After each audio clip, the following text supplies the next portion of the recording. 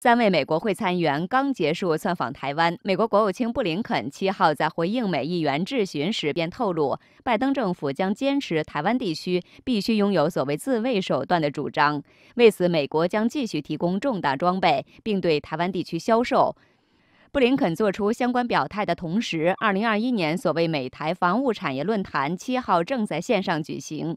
美国与台湾方面的与会人士共同讨论了军工产业供应链的合作议题。前美国助理防长薛瑞福发表了主旨演讲。论坛的美方主办方所谓美台商会会长韩如博表示，今年夏天会看到一些美国对台军售，有些项目已经进入最后通知美国国会之前的最后三十天窗口期。台湾大疫当前，美台军事勾连却在不断升级。近日，美国参议员搭乘军机窜访台湾地区，引发外媒炒作。而美国媒体在分析所谓美台关系走势的文章中，出现了一张台立法机构质询会议，展示所谓未来对美军购项目的照片。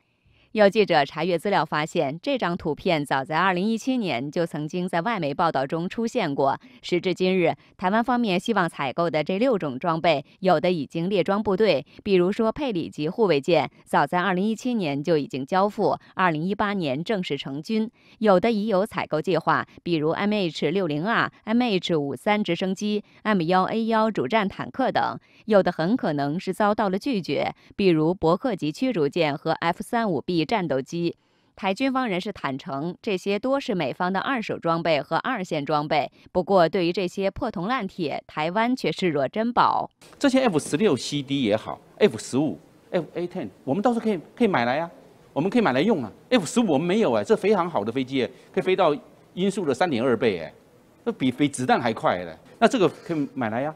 你我们买一个新的 F 十五啊，你如果是去去去买的话，可以买五架。